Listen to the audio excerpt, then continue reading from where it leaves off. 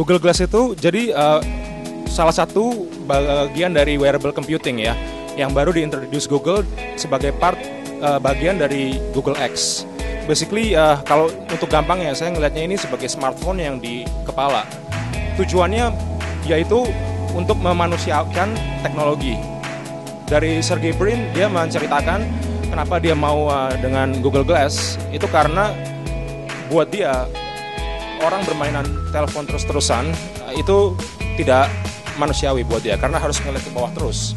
Nah dengan idenya Google Glass ini karena selalu di kepala dan um, informasi yang masuk itu bisa dilihat dengan mudah.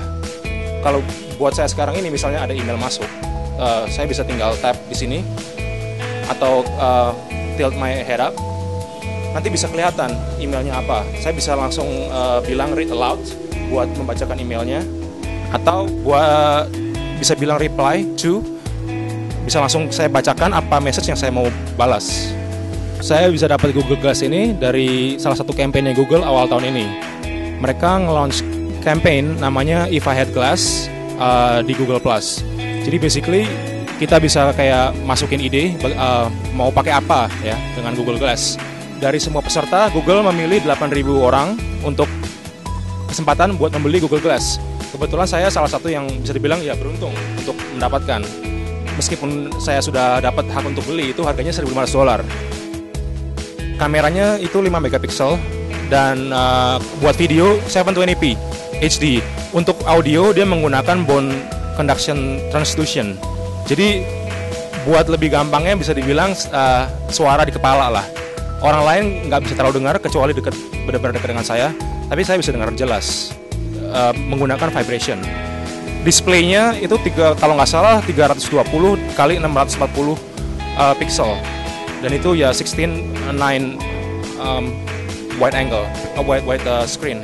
Baterainya kalau misalnya digunakan dengan seharusnya tidak dipakai buat video terus-terusan itu mungkin sekitar 7 sampai 8 jam sehari. Nah, tapi kalau misalnya teman saya pernah ada yang coba, dia pakai buat video 40 menit terus-terusan sudah mati. Kalau buat saya ada beberapa ya yang saya sering ngerasa digunakan terus.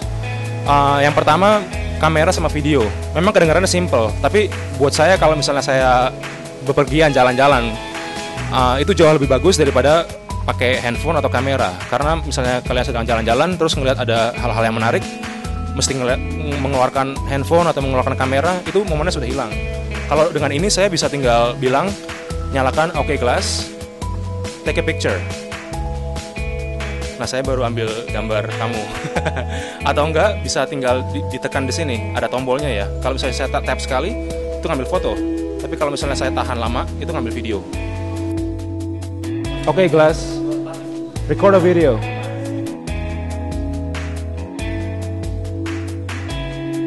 Salah satu lagi yang saya paling uh, berguna itu uh, eh, GPS directions.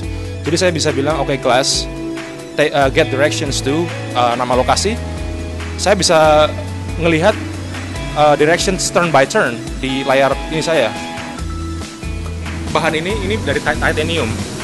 Ini uh, benar-benar fleksibel. Saya nggak takut begini-begini nih. Nah, di sini tapi ini weak spotnya. Banyak sekali yang patah di sini Nah, Google karena ini memang sedang uh, program uji coba ceritanya, meskipun kita harus bayar, tapi bisa dibilang uji coba. Google bersedia untuk mengganti langsung tanpa biaya. Misalnya rusak tanpa bukan kesalahan kita, kita tinggal kirim balik ke mereka, mereka bakal kirim yang baru langsung. Jadi mereka benar-benar really trying to help us of understanding this thing.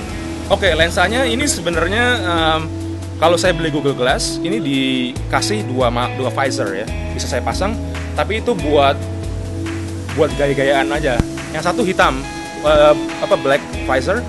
Ada juga yang clear shield, yang clear visor. Itu kalau buat saya, menurut saya, misalnya kalau lagi naik sepeda, dipakai itu kan lebih enak, lebih jadi uh, ngeblok angin ya. Nah, kalau yang ini sebenarnya ini bukan official dari Google. Ini kemarin saya uh, kerjasama sama salah satu optik di Amerika, di Pennsylvania. Dia bersedia untuk uh, membuatkan saya ini apa uh, prescription lens ya karena mata saya minus. Jadi ini sebenarnya ya, kalau bisa dilihat di bagian sininya ini ada skrup dan ini bisa dicopot nih. Bisa dicopot bagian ini. Nanti kita bisa masukin lagi frame lain. Google bakal sediakan yang officialnya yang benar-benar untuk support prescription lens. Saya kemarin sempat tanya sama salah satu developer advocate-nya Google uh, Glass. Saya tanya, ada plan nggak buat dimasukkan ke bahasa lain? Jawaban dia sekarang ini dia mau fokus ke bahasa Inggris dulu. Karena uh, untuk bahasa Inggris saja itu aksennya masih hanya bisa di tag aksen Amerika.